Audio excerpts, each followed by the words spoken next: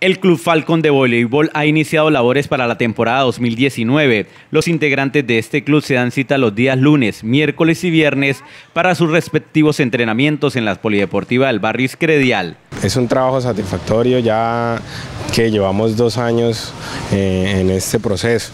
Eh, inicialmente comenzamos con alrededor de 12, 15 personas eh, aproximadamente.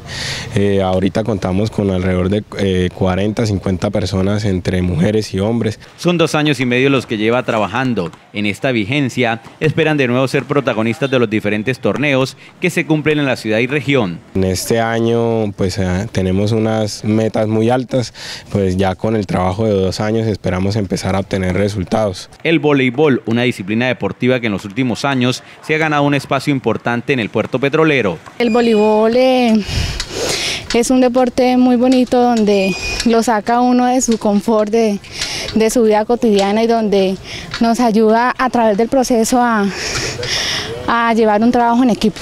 Mucha como el torneo municipal de este año, quiero demostrar lo que venimos haciendo acá en Falco.